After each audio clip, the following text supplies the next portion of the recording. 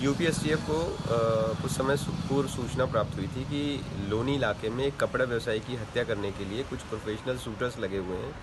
इस सूचना पे जब यूपीएसटीएफ ने काम किया और इसको विकसित किया तो उसके फलस्वरूप आज थाना विसरक क्षेत्र में छः अभियुक्तों को गिरफ़्तार किया गया और ये सभी पेशेवर अपराधी हैं और इनके खिलाफ जो कई मुकदमे विभिन्न जिलों में और स्टेट्स में पंजीकृत हैं। इसमें से मुख्य कर्नल गिरी है, जो सुनील लाठी के साथ रुड़की के जेलर की हत्याकांड में वर्ष 2011 में जेल जा चुका है। दस साढ़े सात जेल में रहा और जेल में रहते हुए इसने, इससे कई कुख्यात अपराधियों से संपर्क बने।